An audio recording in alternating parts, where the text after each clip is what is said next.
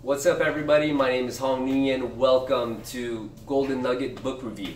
So, in today's book, it's called The Greatest Minds and Ideas of All Time by Will Durant. Will Durant, for you guys who don't know, is a Pulitzer Prize winner uh, and also a winner of the uh, Medal of Freedom. He's a historian and very well known, very world renowned for his work. Um, he took, I think, he dedicated his whole life to this, and he took like 50 years to write this book called this another book called The History of uh, Civilization.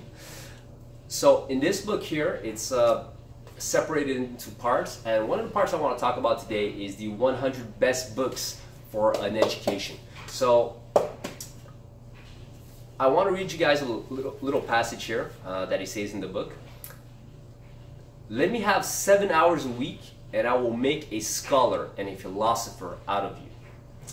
In 40 years, you shall be as well educated as any new-fledged doctor of philosophy in the land. So this appealed to me because I dropped out of uh, college um, when I was younger. I, now I'm 39 years old, and for some reason I feel the need to learn history and philosophy. So I'm like, okay, well, why not listen to Mr. Will Durant here and give it a go, right?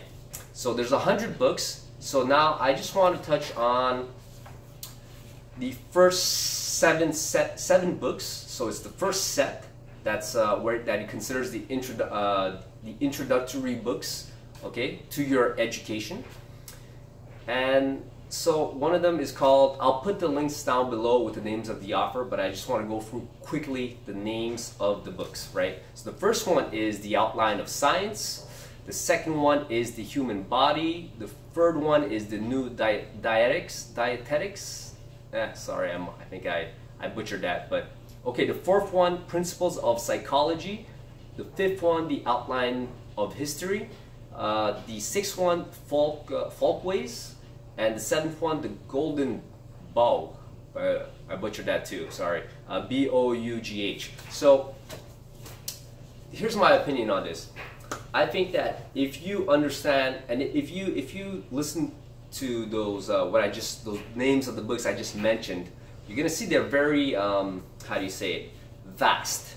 You know, it's, it's it touches on history, it touches on science, it touches on philosophy, and I think all of this is important. And why is it important?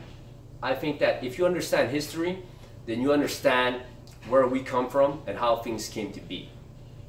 And then if you understand if philosophy, if you have philosophy in your life, then you you're better armed to deal with life. And we all know life is hard and suffering and tragedy. And of course, there's a lot of good stuff, but there's a lot of stuff that uh, uh, that's very difficult to deal with too, right? So if you have these two things together and you have an understanding of uh, the human body and, and some science, it makes you so much more educated and wise. So if you become wise, then you live a better life. Now, you don't want to wait until you know you're you're 80 years old to become wise. Better to get it done while you're still um, young, youngish. So that's my opinion on that. I'll leave a link down below to this book here, Will Durant. And I actually bought the first book, which is uh, the uh, what is the outline of um, of science. So I'll be I'll be reading that, and I'll I'll make some more videos about it, some golden nuggets and some ideas about that book.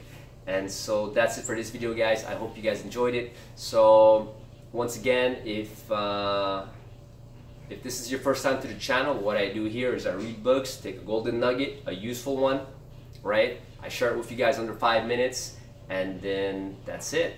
So hopefully you enjoyed that. If you like this video, please, uh, you know, like the video, leave a comment down below, and of course, uh, share the video with, uh, you know, somebody who might enjoy my channel. So thank you very much, guys. We're at four minutes and a half and done.